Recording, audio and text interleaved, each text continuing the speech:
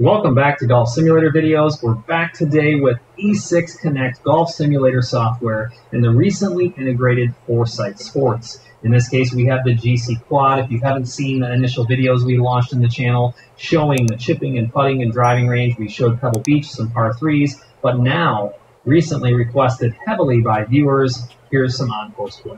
We're out at Cabo del Sol. You guys get to see driver. You get to see me use two foot gimmies. That's what I have it set at right now. So going to be very challenging. But before we move on, I want to bring up two things that I clarified with E6 that you guys might need to know.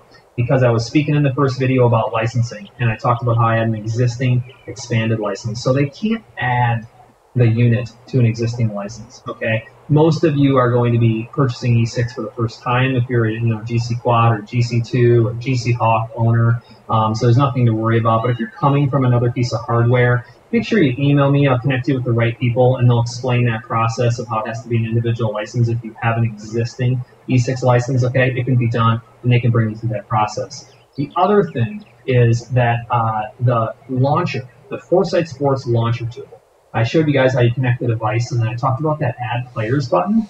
Well, it is necessary to add your players there. I wasn't certain on that, and you can kind of, I know I said I'm not quite sure if you if you need to use this or not, and well, you do. I clarified that with them. You need to add your users there. That's how the integration works. Then you launch E6. Okay, so just a few things to clarify. I always want to make sure I'm getting you guys the most accurate information. Okay, and if you guys ever hear something that you question or you know something that I may not have answered in a video, feel free to email me. It's always pinned to the top of the comments and in the description, and we can get you know the right people involved to get the right answers. Okay, so here we are. Uh, looks like we're well uphill. Uh, man, look how it's a really cool course. Cabo is a really cool course. Um, something to pay attention to. Watch how fast the ball takes off. When this thing hits the screen, it's going. I mean, I'm, I'm impressed with the integration. It's, it's one of those things that I appreciate. I pay attention to those things. We'll check this out.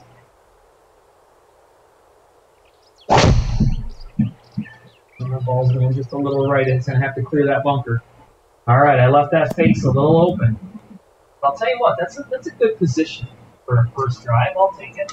Mean, that was uphill. I got two 255 on it. Not bad. Perfect, uh, perfect stroke by means. But it leaves us with 163, which I don't mind. All right, I know that pin isn't amazing, tucked behind the bunker. Smaller green here at Cabo. Um, and I don't know if you guys have ever seen this course, but that's really cool. And it's surrounded by desert. One of their newer courses. I figured it would be a good one to show off. And we'll continue to do it. Let's see if I can get one up there.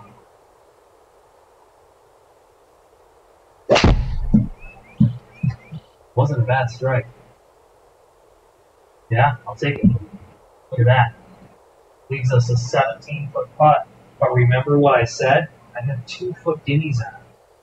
So that means my putting game I really need to uh, make it happen here. So you'll see right now, depending on your distance, where it puts you for a view. Um, now, if we hit the menu, you can change that. And a lot of times, depending on what your feel is, so I could putt right now, and you just have to understand it's 17 feet. They kind of put you into the perspective. But I always want to show this. So if, if you feel more comfortable putting from back here to kind of get a look at the putt, you can do that. Now, I've talked about the different putting that's available. You can align it yourself. You can, you know, align to break like we have here. So they give you different options. Now, depending on your simulator setup, most people uh, we've been playing a lot, they have it aligned to break. So, um, you know, even like a local simulator uh, company that we have here in town, um, you know, that has multiple bays, they play the same way. It helps speed up play just a little bit. I mean, the goal here is is to, to you know get the right speed. If you're too slow or too fast, it's not going to break properly, um, but you can do manual alignment, okay? So this is 17 feet, but it's 5 inches downhill, so I'm going to play this for about 12 or 13 feet.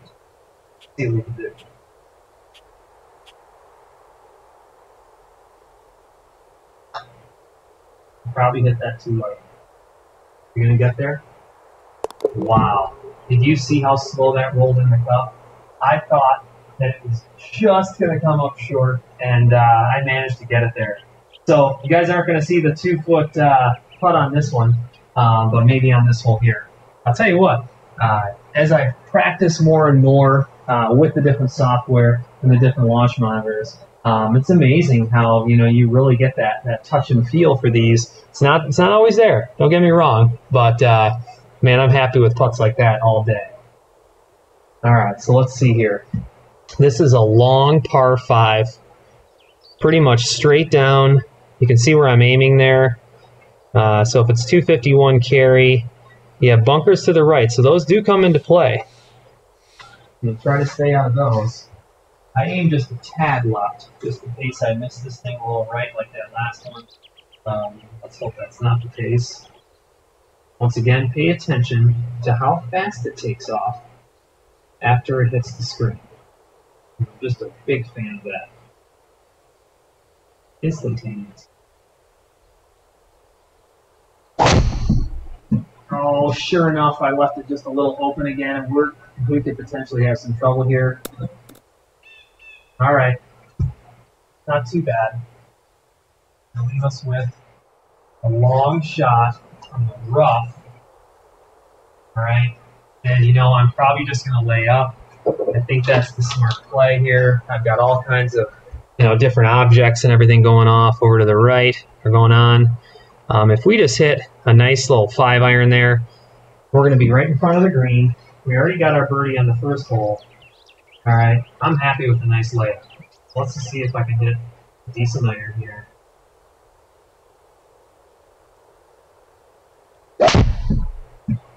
Oh, I might have touched that. Uh, yeah, look at that. That wasn't probably a perfect ball, but I think I actually touched that hill just a little bit uh, playing that five iron, and it kind of messed with my ball. So that uh, that could have been a little bit my own fault there. All right, now I usually always select my clubs because when you're playing your username, um, it's going to store all that data. Now you saw that it showed a wood there. That's something I should point out. That was my own fault. I did not select the five iron that I was hitting there. Okay, but I got myself a good good shot. So that was a good example of how you may want to, um, you know, actually select your club each time. They do put statistics for your rounds in the cloud in your E6 portal, which I think is really cool. It's 11 feet uphill. All right. Now remember, you have a new option. You can go into your menu and you can hit your magnifying glass and look up at the green, okay, to see what's going on. All right. You can look at your bird's eye view. All right. You can go around. You can zoom down. You can do all kinds of cool stuff. All right. So um, I like that. I think it's a great feature. All right. They don't go as far as giving you the grid when you're that far out um, which honestly is is probably something that uh, was intentional. Um, you know, because you can't really look, go look at the break when you're playing course anyway. So like, I pointed that out that out to someone when it first came out, and I think that that uh, it's a good point. You know, you can't see the break of a green in the plan. Oh, it needs to come a little left. Did I go too far? Oh no! I smoked it.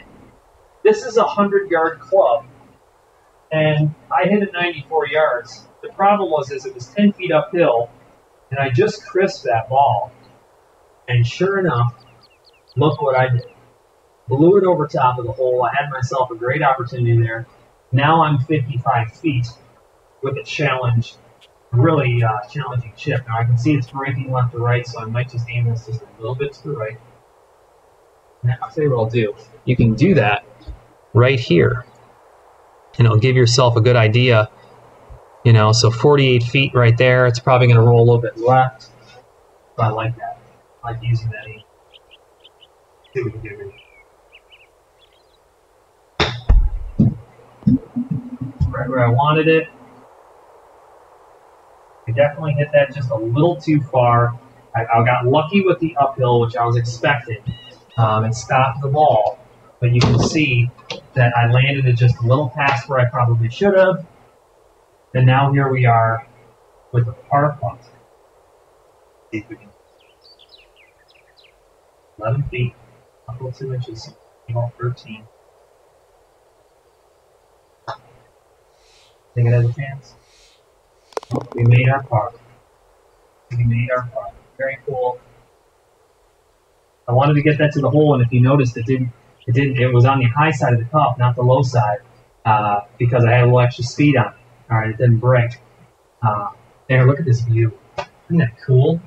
I wanted to put the auto flybys on so you guys could see this uh, this course. Um, it's it's a really cool course. Now here's the tight one, uh, 235. So I could probably clear the bunker down there. See if I can get a hold of the drive. Those those first couple drives, I mean, they were all right, but um, just not hitting them hitting them really well. See if we can get a hold of one here.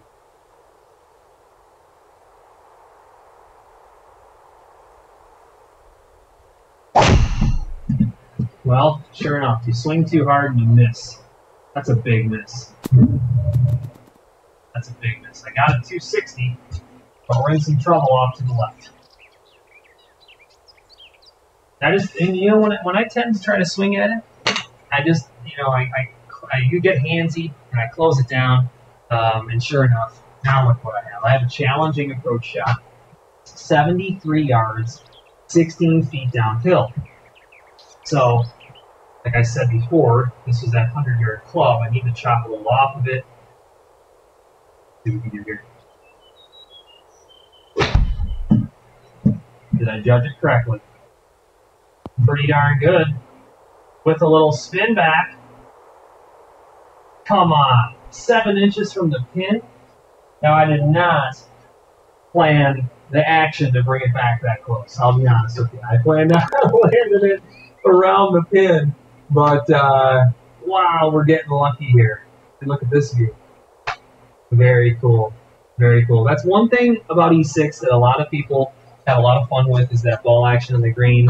Um, now, I have had people say, hey, don't you think it's a little exaggerated? Um, I've actually talked to E6 about that. You know, they're constantly reviewing their software and algorithm and listening to feedback and everything. So if anybody feels like that green, you know, backspin is a little heavy, um, you know, make sure you, you know, take a little snapshot of it, um, send it to them, talk about, you know, what your feelings are on that, and they are awesome. Uh, the support team is very fast. Uh, I always feel like they're working to, you know, release enhancements and improvements. Um, that magnifying glass that is now there, where you can look up to the green, that's something that multiple people that I played with in an indoor league uh, reached out and said, "Hey, we really would like to have some type of feature where we can look up and be able to see what we're uh, we're hitting towards." Sure enough, they released an enhancement. Um, you know, that really just shows you, uh, you know, that the company is actively looking to improve their software, and I think that's really cool.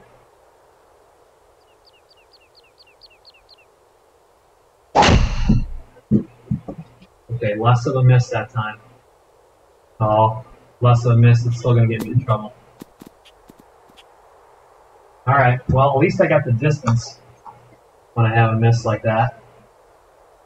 Carried a 262 and rolled down the, the hill there a little bit. Um, yeah, just just once again, just close that down. I mean, that's that's not terrible. The problem I have now is is do I really go for it? 225. I mean, I'm just off the fairway. I would have assumed that I would have been going here, you know, and then now to the front edge of that green, but it's 39 feet downhill. So with like a five iron, all right, I'll select it this time and do it the proper way. I think I'm fine with the five iron. I think I can get it. And then hit the front of the green and then roll on. Because the elevation makes a difference, just so you guys understand. It's not the exact carry distance. Know, if it's downhill, it plays a huge difference.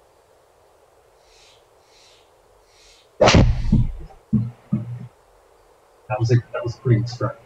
Not gonna lie. I'll be the one. I mean, I'll take it all day long. I mean, that's that's exactly what I was trying to do. And uh, man, that, that uh, downhill gave me that just little extra carry. What do we have left? 14 feet. So this is what I'll do here for you guys. I want to show you uh, the short putt. Okay, so I'll wrap it up here. All right, we went through four full holes, showed you guys a bunch of drives, even got to see a couple of my, my misses. All right, um, I, and people know that's my miss. If I'm gonna miss, I swing a little too hard. I top to the left. So um, you guys got to see a little bit of a mix there. All right, I promise you, we'll play more. We'll do some live streams soon, and uh, we'll take you through more, and uh, you guys can see more of my driver that I've been working on. I mean, it, it's it's been decent lately. Um, a couple of my misses snuck out in, in this round. They definitely did. But hey, we can recover. It's all about recovery. So let's do this. Let's hit this, I don't know, like six feet. That's a little short. I mean, if you, if you notice how far it rolled inside, it rolls five feet. And so now we have a nine foot putt. Okay. So now let me show you what another another like a four foot putt looks like.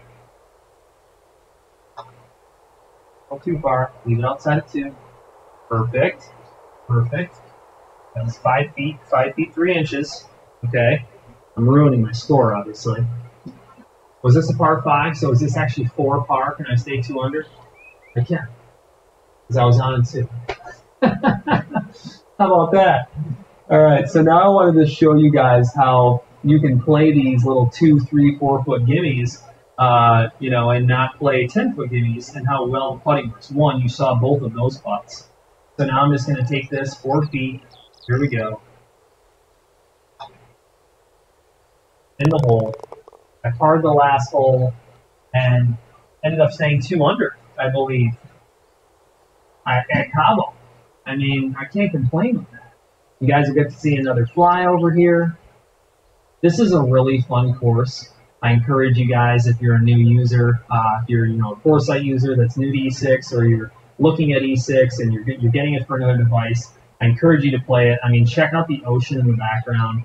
Um, it takes you out near the ocean. It's a really cool course. It has elevation. Obviously, like you can see, surrounded by desert. You can get yourself in trouble. I mean, look how look how skinny these fairways are. I mean, you're in play. It's not like you're OB, but you can get inside these bushes, and let me tell you, it's it's trouble it can be very challenging. So um, I hope this was a great example of what everybody was looking for for some more on-course play. I was able to knock it out. Uh, I promise you, I'll get back into some live streams soon. Been playing a lot of outdoor golf, trying to squeeze it in before the winter season gets here fast. Here in Michigan, it's a blink of an eye. It seems like you know, one minute it's August, and the next minute it's snow outside. So um, we'll continue to kind of you know uh, progress and get some more videos going as we get towards the fall and continue coverage. I encourage you guys to comment below. Let me know what you'd like to see. Let me know what you think about this video. I appreciate everyone that, that emails me. Um, it can be simple questions, it can be suggestions. Everybody's always shooting emails out, and I get back to them right away. I mean, I do my best to get back back to you as fast as I can, so I appreciate that. And if for some reason you haven't subscribed to the channel, make sure you do. All kinds of content coming. I mean, we'll continue to bring all kinds of different coverage and uh, you know do things per request as much as I can as well. So as always, thanks for watching.